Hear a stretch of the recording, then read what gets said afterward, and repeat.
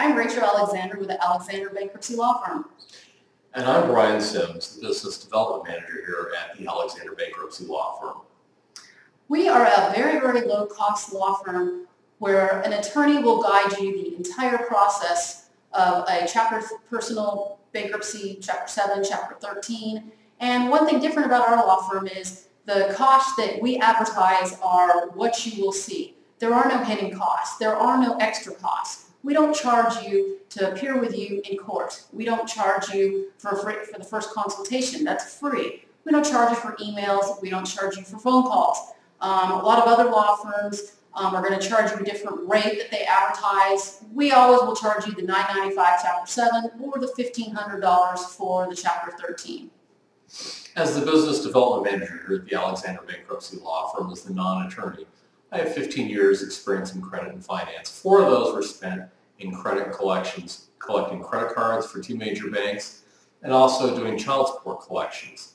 Uh, also spent 11 years in the uh, mortgage finance and uh, real estate area. So with our experience together combined, we're able to give you a good picture of what's going on inside with the lenders and how they're going to behave and things that they will do and tactics that they typically try in collecting their debt. If you're in danger of losing your home to foreclosure or you have escalating credit card debts or medical bills, these are the types of things that we can help you with.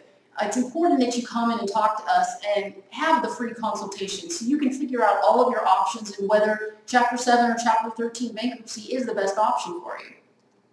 So pick up the phone and call us at 602-910-6812.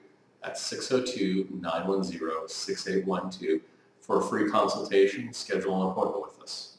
And we urge you, don't try to file bankruptcy on your own. We see too many, too many cases where people try to understand the law and figure it out, and there's just hundreds and hundreds of regulations and statutes that are too complex. And sometimes the bankruptcy court not only will uh, throw out their bankruptcy, but they'll come after them and sue them for fraud.